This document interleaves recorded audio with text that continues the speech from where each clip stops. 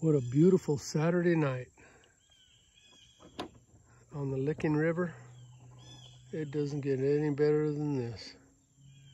Just absolutely beautiful. Man.